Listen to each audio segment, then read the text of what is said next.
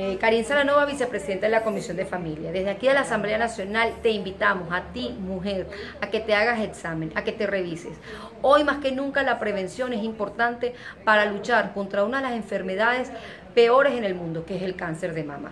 Revísate, tócate y así tú podrás prevenir más adelante una enfermedad letal. Hasta luego.